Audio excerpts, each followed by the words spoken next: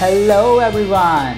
Welcome to the Layman Way, where we strive to bring the explanation of the key concepts in a very fun and engaging way. Concepts from the field of UPSC, PSC, CAT, you name it, we have it. And guys, we are trying to create a big impact by providing free quality education so that everyone can get access to this education and you can be a part of this revolutionary journey by doing just few things, liking and sharing the video and subscribing to the channel. And also, do not forget to recommend the video to your friends. Alright guys, if you want to view the full playlist, you can always go on the i button in the top right corner and view our full course. And if you are watching this video, do not forget to leave a comment down below and share your progress with others so that we can motivate one another and let's get started. So guys, welcome to the course. और current affairs discuss कर रहे हैं हम polity के तो चलिए आगे बढ़ते हैं और और कंसेप्ट को देखते हैं क्या क्या न्यूज़ में था तो चलिए जल्दी से आगे बढ़ते हैं बिना देरी के और देखते हैं आज क्या पढ़ेंगे तो सबसे पहले हम स्टार्ट करते हैं ऑफिशियल लैंग्वेजेस एक्ट के साथ, है ना?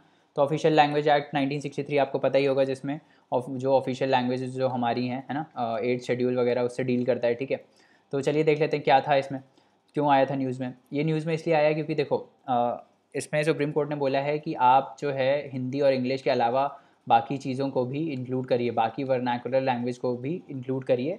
Apart from Hindi and English ठीक है? बाकी ऑफिशियल लैंग्वेजेस को भी आप इंक्लूड करिए वर्किंग में पार्लियामेंट की वर्किंग में। अभी ये जैसे देखो कि आप सुप्रीम कोर्ट जो है, उसमें सिर्फ़ इंग्लिश में ही आप यू नो इंग्लिश में ही पटिशन डाल सकते हो और इंग्लिश ही अलाउड है ना? तो उन्होंने बोला, बाकी लैंग्वेजेस को भी आप इंक्लूड करिए। ये गलत है, क्योंकि भाई जिसको इंग्लिश नहीं आती होगी तो वो तो भाई सुप्रीम कोर्ट में कर ही नहीं पाएगा आके, अपना पटिशन डाल ही नहीं पाएगा, है ना? तो उन्होंने बोला कि हिंदी और इंग्लिश के अलावा भी आप बाकी वर्नाकुलर लैंग्वेजेस को भी इसमें इंक्लूड करिए, ठीक है? तो कब एक्ट इनैक्ट हुआ था? 1963 में। To provide for the languages which may be used for the official purpose of the union for the transaction of business in the parliament for central and state acts and for certain purpose in the high courts तो ये आपको याद रखना है कि ये किस किस के लिए ऑफिशियल लैंग्वेजेस को डिफाइन करता है? यूनियन uh, के पर्पज़ में यूनियन के काम में कौन कौन सी लैंग्वेजेस यूज़ हो सकती हैं? पार्लियामेंट में कौन कौन सी यूज़ हो सकती हैं? जैसे अभी रिसेंटली राज्यसभा में यू you नो नाम ये क्या बोलते हैं? संथली भी यूज़ हुई थी है ना? कोई एक थे एम एल उन्होंने संथली का भी यूज़ किया था, है ना? तो वो स्पीकर अलाउ कर सकता है कि कोई वर्नैकुलर लैंग्वेज में हो सकता है काम की नहीं, ठीक है? तो ये सब कहाँ डिफाइंड है? ये सब ऑफिशियल लैंग्वेजेस एक्ट 1963 में डिफाइंड है, ठीक है? As per the act both English and Hindi shall be used for the certain specific purposes like resolutions है ना? Resolutions rules general orders notification press communiques administrative and other reports licences and tenders ठीक है? तो ये जो major major काम है ना, जो यूनिफॉर्म काम है, जैसे ये सारे जितने भी काम है, वो सारे यूनिफॉर्म काम है। इसको अगर आप यू नो उर्दू में लिख दोगे तो लोग समझ ही नहीं पाएँगे, है ना? तो वो, उन्होंने यही बोला कि अभी ये वाले जो काम है, ये मोस्टली इंग्लिश और हिंदी में ही होते हैं। तो यही वो बोल रहा है कि इंग्लिश और हिंदी में जो होते हैं ना, उसको अब आप एक्सपैंड करो, उसको बाकी वर्नैकुलर लैंग्वेजेस भी लेके आओ, ठीक है? तो एट शेड्यूल हमारा बात करता है ऑफिशियल लैंग्वेजेस में। इनिशियली कितने थे? चौदह थे, अभी कितने हैं? बाईस हैं। तो चौदह के बाद जो ये अपने आठ ऐड हुए हैं, वो कौन कौन से हैं? बोडो, डोगरी, मैथिली, संथली, ये कब ऐड हुए? ये ninety second amendment act two thousand three में इसको ऐड किया गया है। ये आपको याद रखना है कौन कौन सी हैं? बोडो, डोगरी बोडो, डोगरी, मैथिली, सेंथली, ठीक है? तो ये सब नाइन्टी सेकेंड अमेंडमेंट एक्ट में ऐड हुए। सिंधी कब ऐड हुआ था? Twenty first amendment act nineteen sixty seven में सिंधी को ऐड किया गया। फिर कोंकणी, मणिपुरी, नेपाली, ये कब ऐड हुए? ये seventy first amendment act nineteen ninety two में ऐड हुए। एटलीस्ट अमेंडमेंट्स तो याद रखो। इनफैक्ट आपको ये एट शेड्यूल में जितनी लैंग्वेजेस हैं, ये ब्रॉड ब्रॉड याद होनी चाहिए। कौन कौन सी है? कश्मीरी है है ना? हिंदी है इंग्लिश है, ये सब आपको याद होना चाहिए कौन कौन सी हैं, ठीक है? रीजनल लैंग्वेजेस कौन कौन सी हैं, ठीक है? नेपाली है, बोडो है, डोगरी है, मैथिली है, सेंथली है तो ये सब आपको याद मतलब थोड़ा बहुत देख लो, क्योंकि कभी कभार क्या होता है, ऐसे एक बार पूछा था, मगधी। मगधी है क्या इसमें? तो मगधी नहीं है, ठीक है? तो ये सब आपको याद रखना पड़ेगा। मैथिली है, मगधी नहीं है, ठीक है? तो ये सब याद कर लेना। उसके बाद आगे बढ़ते हैं। कॉन्स्टिट्यूशनल प्रोविजंस क्या हैं? रिलेटेड टू ऑफिशियल लैंग्वेजेस कौन कौन से यू नो कॉन्स्टिट्यूशन के आर्टिकल्स हैं जो ऑफिशियल लैंग्वेजेस के बारे में डील करते हैं। तो पहला आता है आर्टिकल 343 आर्टिकल 343 क्या बोलता है? Hindi in Devanagari script shall be the excuse me Hindi in Devanagari script shall be the official language of the union तो यूनियन की ऑफिशियल लैंग्वेज क्या होगी? हिंदी होगी देवनागरी स्क्रिप्ट में। ये कहाँ लिखा हुआ है? आर्टिकल 343 क्लॉज वन में लिखा हुआ है, ठीक है? फिर उसके क्लॉज थ्री में आर्टिकल थ्री फोर्टी थ्री के क्लॉज थ्री में क्या लिखा हुआ है कि इंग्लिश को हम कंटिन्यू करेंगे even after nineteen nineteen sixty five तो इनिशियली जब ये एक्ट आया था इनिशियली जो आर्टिकल हमने इंसर्ट किया था थ्री फोर्टी थ्री वाला, है ना, उसमें हमने ये डिफाइन किया है कि इंग्लिश जो है वो पच्चीस जनवरी नाइनटीन सिक्सटी फाइव तक तो होगी ही, ठीक है? उसके बाद अगर इंग्लिश को कंटिन्यू करना है तो वो पावर किसके पास है? पार्लियामेंट के पास है, ठीक है? तो पार्लियामेंट क्या कर सकता है? पार्लियामेंट इज़ इंग्लिश लैंग्वेज मतलब इंग्लिश लैंग्वेज के यूज़ को कंटिन्यू कर सकता है इवन आफ्टर 1965 तो ऑब्वियसली किया भी है है ना? Even after 1965 to make laws to that effect अब वो लॉ बना के ये कर सकता है, ठीक है? फिर आया आर्टिकल 344 आर्टिकल 344 ए क्या बोलता है कि प्रेसिडेंट के पास पावर है कि वो एक कमीशन बना सकता है? वो कमीशन मतलब पाँच साल के बाद और दस साल के बाद। मतलब अब पाँच साल के बाद एक कमीशन बनेगी, फिर पाँच साल के बाद एक कमीशन बनेगी। मतलब पहले पाँच साल के बाद, फिर दस साल के बाद भी एक कमीशन बनेगी। ठीक है? वो क्या करेगी? वो देखेगी कि हिंदी का प्रोग्रेसिव यूज़ हो रहा है यूनियन में नहीं हो रहा है, कैसे उसको ऑफिशियल पर्पसेस के लिए हम और बढ़ा सकते हैं हिंदी का यूज़ जैसे क्या होता है पी में बोला जाता है कि आप जो मेल वगैरह इंटरनल सर्कुलेट कर रहे हो या कहीं और भेज रहे हो तो उसका हिंदी में हिंदी में भेजो आप। कोशिश करो आप हिंदी में भेजो। ऐसे ही हिंदी का यूज़ बढ़ेगा, है ना? तो वो क्या बोलते हैं कि जो प्रोग्रेसिव यूज़ है, ये कमीशन क्या करेगी? जो प्रेसिडेंट कॉन्स्टिट्यूट करेगा, ये क्या करेगी? ये बेसिकली ऑफिशियल पर्पसेस के लिए जो हिंदी का यूज़ है, उसको यू नो देखेगी कि कैसे बढ़ा सकते हैं हम हिंदी का यूज़ ठीक है? तो वो किसमें दिया हुआ है? वो आर्टिकल 344 क्लॉज वन में दिया हुआ है, ठीक है? फिर आता है आर्टिकल 348 आर्टिकल 348 क्या बोलता है कि भाई जो सुप्रीम कोर्ट में लैंग्वेज यूज़ हो रही है, ठीक है? वो इंग्लिश होगी सुप्रीम कोर्ट और जो हाई कोर्ट है, ठीक है? सुप्रीम कोर्ट और हाई कोर्ट में जो लैंग्वेज यूज़ होगी, वो इंग्लिश होगी अनटिल अनलेस पार्लियामेंट कोई लॉ बना के उसको चेंज करे, ठीक है? तो जैसे मैंने बोला था ना आपको कि सुप्रीम कोर्ट में अगर आपको पटिशन डालनी है तो आपको इंग्लिश में देनी पड़ेगी वो। आप हिंदी में पटिशन नहीं दे सकते ठीक है? तो ये आ, मतलब ये देखो एक गलत चीज़ भी है क्योंकि भाई अभी लिटरेसी रेट इंडिया में ऐसा हंड्रेड परसेंट तो है नहीं है ना? तो सबको इंग्लिश तो आती नहीं है। अब भाई जिसको हिंदी में पटिशन डालनी हो तो वो क्या करेगा? तो सुप्रीम कोर्ट तो रिजेक्ट कर देगा। तो ये this does not ensure the justice right but एक स्टैंडर्ड उनको मेंटेन करना है तो इसीलिए उन्होंने इंग्लिश में अभी इसको रखा हुआ है ठीक है?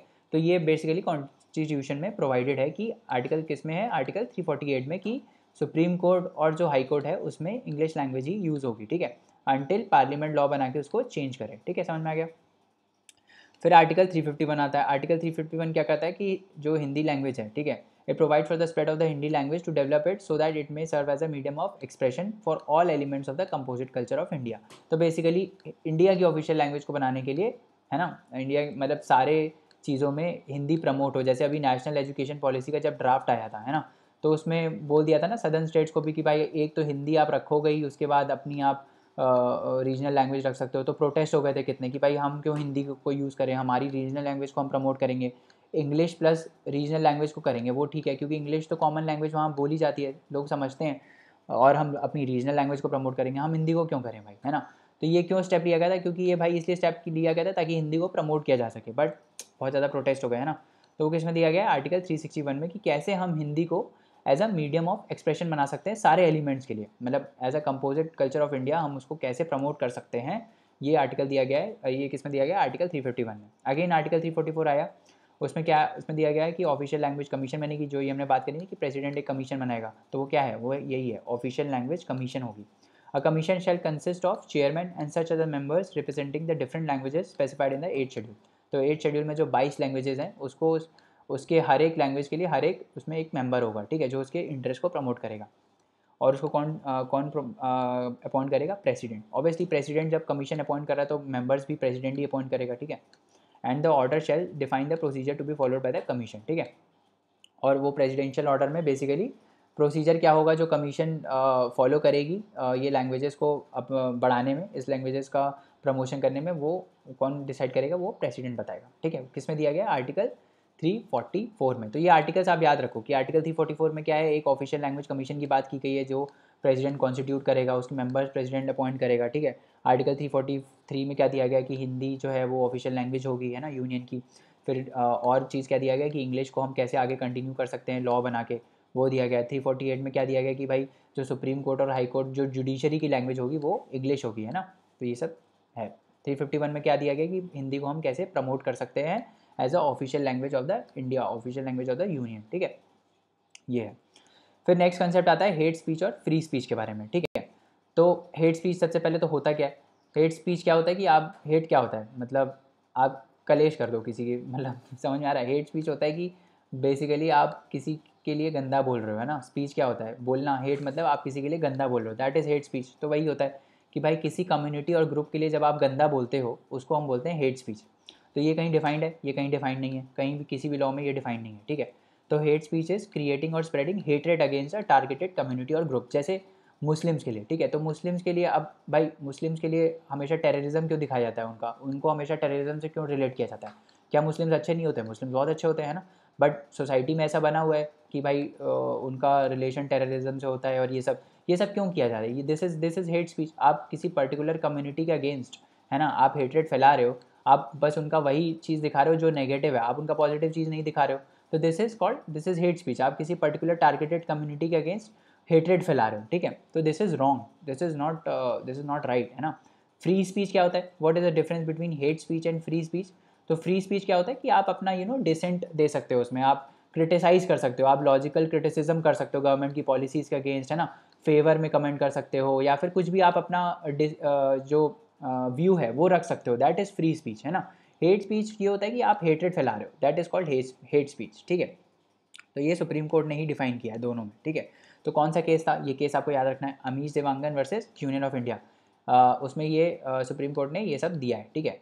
कि hate speech repudiates right to equality in the polity committed to pluralism ठीक है? तो इंडिया एक प्लूरल कंट्री है, सब जो रिलीजन है, सब ग्रुप्स हैं, वो एक साथ रहते हैं यहाँ पे। आप किसी एक पर्टिकुलर कम्युनिटी के अगेंस्ट हेट रेट नहीं फैला सकते। That is against right to equality समझ में आया?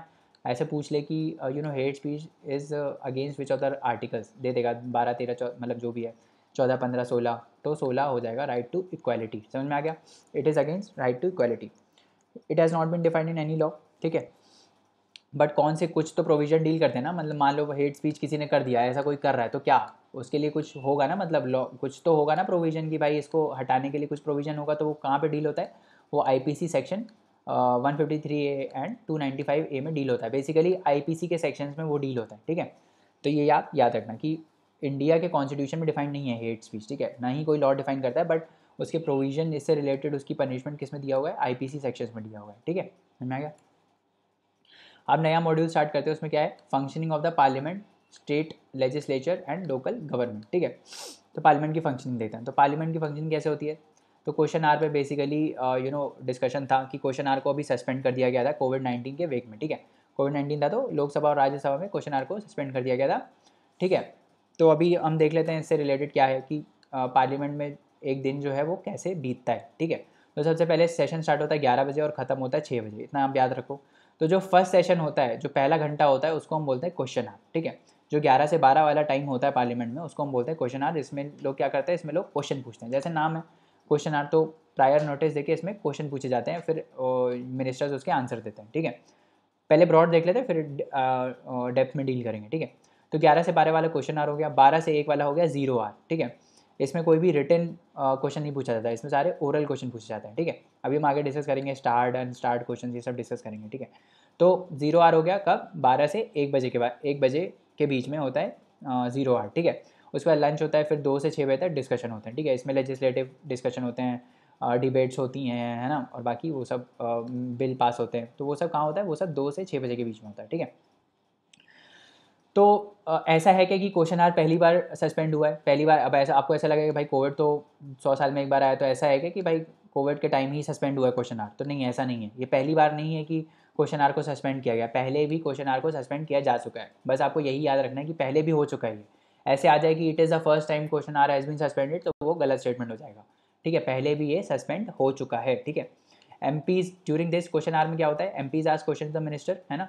मेंबर्स जो होते हैं वो क्वेश्चन पूछते हैं मिनिस्टर से और उनको अकाउंटेबल होल्ड करते हैं। In fact this is the very base of accountability कि executive is accountable to the legislature responsible to the legislature वो इससे इंश्योर होता है। अकाउंटेबिलिटी किससे इंश्योर होती है?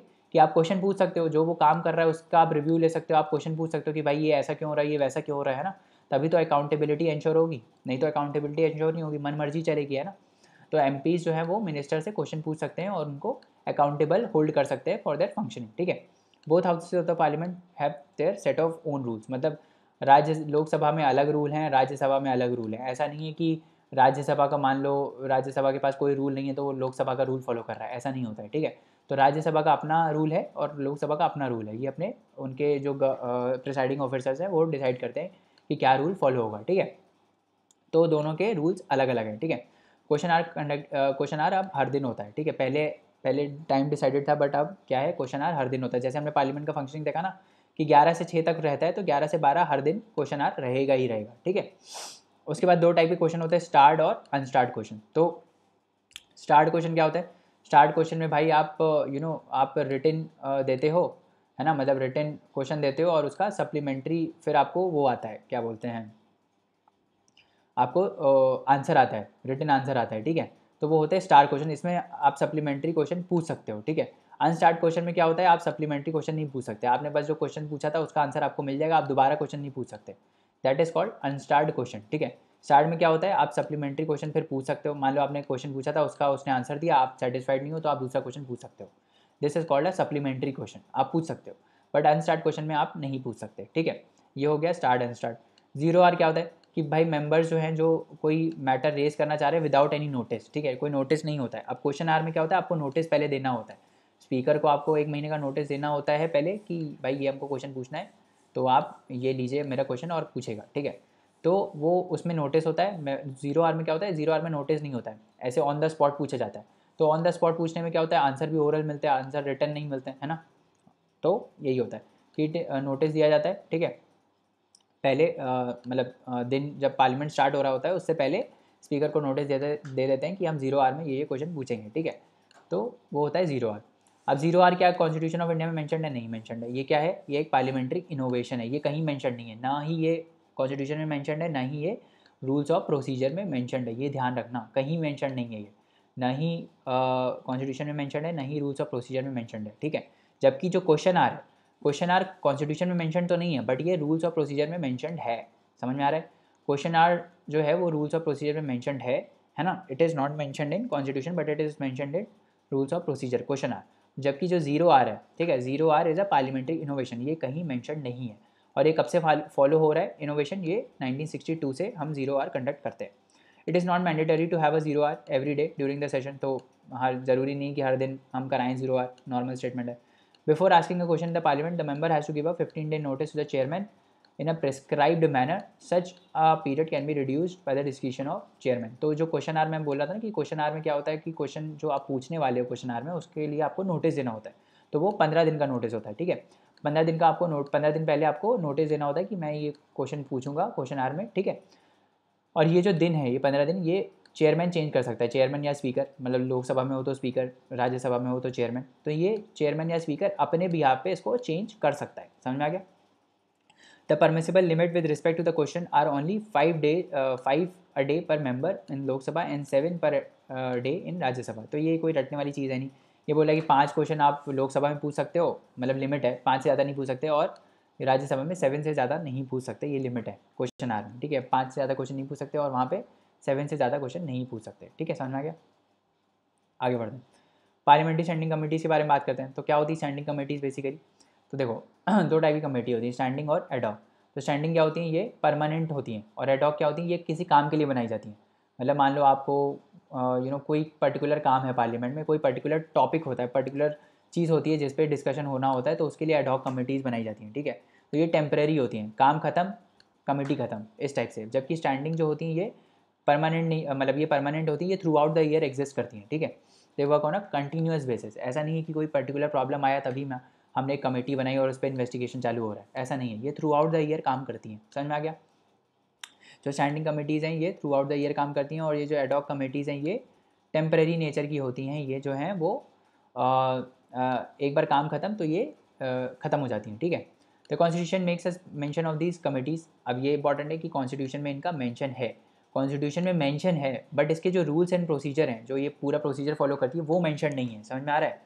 कॉन्स्टिट्यूशन में इनका मेंशन है कि भाई हाँ ऐसी कमिटीज़ हैं स्टैंडिंग और एडॉक बट ये मेंशन नहीं है कि उनका कंपोजिशन क्या है टेन्योर क्या है बाकी कोई प्रोविज़न मेंशन नहीं है। बस एक नाम दिया हुआ है कि हाँ ऐसी कमेटी है स्टैंडिंग कमेटी है और एडॉक कमेटी बस एक नाम है ठीक है? तो वहाँ पे क्या है? वहाँ पे कोई यू नो स्पेसिफिक प्रोविज़न या फिर कोई uh, इनका कंपोजिशन टेन्योर ये सब नहीं दिया हुआ है समझ में आ गया? All these matters are dealt by the rules of the two houses तो जो रूल्स ऑफ़ प्रोसीजर हैं दोनों हाउसेज के, उनमें ये दिया गया है कि इन कमेटीज़ जो हैं, ये सारी जो कमेटीज़ हैं, इनका कंपोजिशन क्या होगा टेन्योर क्या होगा, वो सब इसमें दिया हो गया है। किसमें दिया गया है? रूल्स ऑफ़ टू हाउसेज में। समझ में आया? जो पार्लियामेंट्री स्टैंडिंग कमेटीज़ होती हैं, उनकी अथॉरिटी कहाँ से आती है? कौन से यू नो कौन से आर्टिकल से इनकी अथॉरिटी आती है? जो प्रिविलेजेस वाले आर्टिकल हैं। आर्टिकल 105 जो है, वो प्रिविलेजेस ऑफ़ पार्लियामेंट्री मेंबर से डील करता है। उससे इनकी अथॉरिटी आती है। वो अपनी पावर्स कहाँ से डिराइव करती हैं? इन आर्टिकल से। आर्टिकल 105 एंड आर्टिकल 118 आर्टिकल 118 क्या है? Parliament's authority to make rules for regulating its procedure and conduct of business ठीक है? तो आर्टिकल 105 कैसे डील करता है? प्रिविलेजेस से डील करता है। पार्लियामेंट्री प्रिविलेजेस से डील करता है। बस आपको यही याद रखना कि ये आर्टिकल 105 कैसे डील करता है? पार्लियामेंट प्रिविलेजेस से डील करता है। और जो आर्टिकल 118 है, वो कैसे डील करता है? वो इससे डील करता है कि पार्लियामेंट की अथॉरिटी क्या है, जो प्रोसीजर और जो रूल्स बनाती है ना, जो बिज़नेस कंडक्ट होता है पार्लियामेंट में, ठीक है? उसको बिज़नेस को कंडक्ट करने के लिए जो रूल्स होते हैं, जो प्रोसीजर होते हैं, वो किसमें दिया गया है? वो आर्टिकल 118 में दिया गया है, ठीक है? तो पार्लियामेंट अपनी अथॉरिटी वहाँ से डिराइव करता है, ठीक है? तो देखो स्टैंडिंग कमेटी बेसिकली क्या होती है कि देखो पार्लियामेंट में जितने भी लोग होते हैं ना? वो ऐसे कोई बहुत ज़्यादा एक्सपर्ट नहीं होते हैं, किसी चीज़ में। तो जब भी लॉ बनाना होता है, जब भी स्क्रूटिनाइजेशन करना होता है इन्वेस्टिगेशन करना होता है तो वो इतना नहीं कर सकते ना कि पार्लियामेंट में अब इतना काम होता है। वो थोड़ी हर एक पर्टिकुलर लॉ को उसका ड्राफ्ट बनाएँगे, पूरा बैठ के हर एक प्रोविज़न लिखेंगे तो वो नहीं करते हैं काम। वो कौन करती है? वो स्टैंडिंग कमेटी करती है। तो वो स्टैंडिंग कमेटी का काम है कि वो पूरा फ्रेम बनाती है, पूरा इन्वेस्टिगेट करती है चीज़ों को कि भाई ये लॉ में क्या है, कैसे होगा, क्या प्रोविजंस होंगे, वो सब स्टैंडिंग कमेटी का काम है, ठीक है? वो पार्लियामेंट खुद नहीं करता। है पार्लियामेंट बस बता देता है कि हाँ हमको इस चीज़ के लिए ये पर्टिकुलर लॉ चाहिए। हमको ट्रिपल तलाक बिल लाना है। अब वो बिल में क्या प्रोसीजर है, क्या यू नो क्या एक एक प्रोविज़न क्या है, वो पार्लियामेंट का काम नहीं है। मतलब पार्लियामेंट का काम है ओबियसली बट पार्लियामेंट नहीं करता है, वो कौन करती है? स्टैंडिंग कमेटीज़ करती हैं, ठीक है? अभी क्या टेन्योर है? एक साल के लिए होती हैं ये पार्लियामेंट्री स्टैंडिंग कमेटीज़ ठीक है? समझ में आया? तो चलिए दोस्तों, आज के लिए इतना रहने देते हैं। बाकी कंसेप्ट नेक्स्ट लेक्चर में पढ़ेंगे। और जाने से पहले लाइक शेयर सब्सक्राइब करना ना भूलें। चैनल को रिकमेंड करें अपने दोस्तों को। और आप हमको अपने डाउट्स और क्वेरीज जो हैं, वो queries at the rate the layman way dot com पर भेज सकते हैं, जहाँ पे हम आपका रिप्लाई इंस्टेंटली करेंगे। तो चलिए नेक्स्ट लेक्चर में मिलते हैं। तब तक पढ़ते रहिए हार्ड वर्क करते रहिए। Thank you so much bye bye and take care